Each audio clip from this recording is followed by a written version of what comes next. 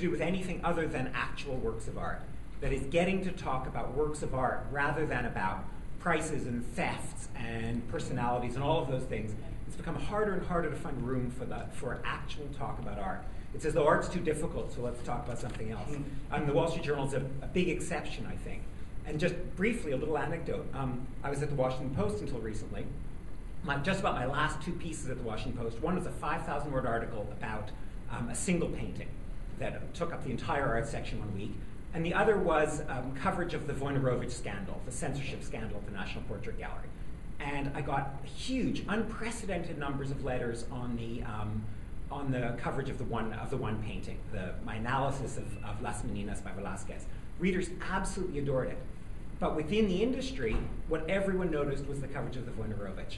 Um, from my, my colleagues in journalism, that's all they seem to notice.